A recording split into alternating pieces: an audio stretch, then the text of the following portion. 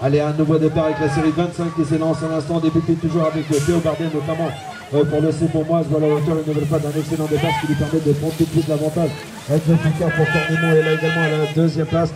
Et en troisième position, on retrouve Arthur Serret, un pilote euh, Picard et plus précisément, plus précisément, voilà, on va y arriver, euh, du club d'Etrissani. Donc Arthur Serret à la troisième place. Devant, pour le C-Pour-Moi, ça ne bouge pas. Euh, Théo Bardet, lui aussi, avait déjà euh, fait forte impression lors des manches précédentes. Et le voici à nouveau en tête et largement en tête donc dans cette dernière manche. Théo Bardet, ouais, voilà, qui devrait s'imposer sans trop de soucis. Enzo Foucault à la deuxième place, Arthur Serra en troisième position.